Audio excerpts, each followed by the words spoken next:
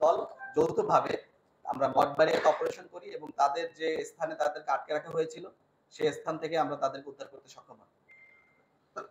Sorry এবং সেখানে আমরা দেখতে পাই এবং আশেপাশে এলাকা থেকে জানতে পারি যে তিনি আরও অনেক ধরনের অপরাধমূলক কর্মকাণ্ডে জড়িত এখানে এবং তার মূলত মানুষকে ঠকিয়ে বা মানুষের সাথে প্রতারণা করে অর্থ নেওয়াই হচ্ছে তার একটা অন্যতম ব্যবসা হিসেবে তিনি এটাকে এই অর্থগুলি আদায় করে।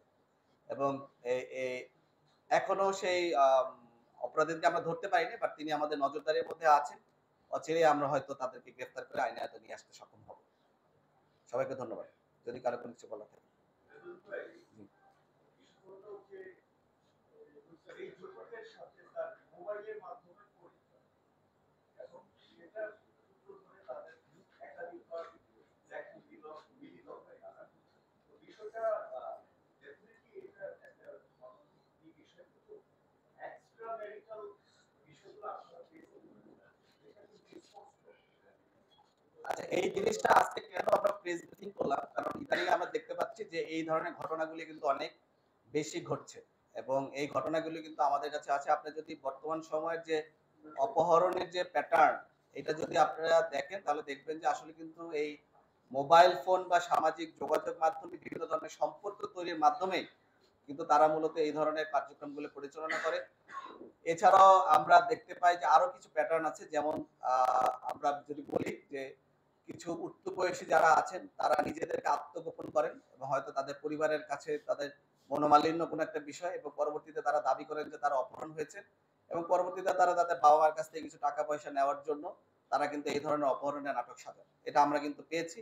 এছাড়াও আমরা দেখতে পাই যে কিছু কিছু অপহরণের বিষয় দেখা যায় যে যাদের বয়স হয়নি, কিন্তু তারা বয়সের পূর্বেই আমাদের দেশের যে প্রচলিত আইন অনুযায়ী যে বয়সের সীমা দেওয়া আছে সেই বয়সের পূর্বেই তারা বিবাহ বন্ধনে আবদ্ধ হচ্ছেন এবং তারা মূলত একটি কোর্ট ম্যারেজের কথা বলেন। কোর্ট ম্যারেজের কথা বলে তারা কিন্তু চলে যান। পরবর্তীতে পিতামাতা কিন্তু আমরা আমাদের কাছে আসেন অপহরণের অভিযোগ নিয়ে। এই বিষয়গুলি কিন্তু আসছে। তো আমাদের আজকে এই বিষয়গুলি বলার উদ্দেশ্য হচ্ছে যে এই ধরনের অপরাধ কিন্তু সমাজে এখন বেশি করছে আমাদের সচেতনতার অভাবে। তো আমরা চাই যে আমাদের আজকের যে ঘটনাটা, এই ঘটনার মাধ্যমে আমরা যে বিস্তারিত বললাম বিস্তারিত ঘটনার মাধ্যমে আমরা যেন সচেতন হই। অপরিচিত কারোর সাথে সম্পর্ক বা তাকে বিশ্বাস করার পূর্বে অবশ্যই আমরা তার সবকিছু জেনে নিব। যেমন এই আবদুল্লাহ তুষার কে যে অপহরণকারী, সে নিজেকে কিন্তু বাদল বাদল হাওলাদার তার নাম, কিন্তু সে নিজেকে কিন্তু হৃদয় নামে পরিচয় করিয়ে দিয়েছেন সবার সাথে। এবং তার কিন্তু বিস্তারিত কোনো তথ্যই এই ভিকটিমের পরিবারের কাছে ছিল না।